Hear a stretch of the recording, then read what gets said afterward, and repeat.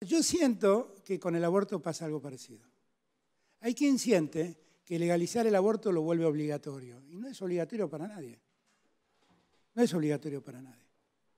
Y lo que sí es, es un tema que debemos resolver desde el mundo de la salud pública. Porque lo que no podemos es poner en riesgo la salud de la mujer que decide abortar.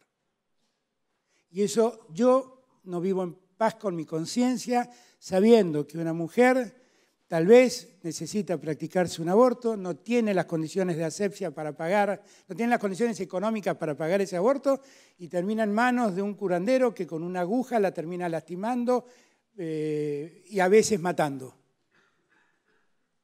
Perdónenme, pero la hipocresía nunca se llevó bien conmigo. Por eso es que he propuesto, y lo voy a hacer, mandar una ley que termine con la despenalización del aborto y permita la atención de cualquier aborto en un centro público.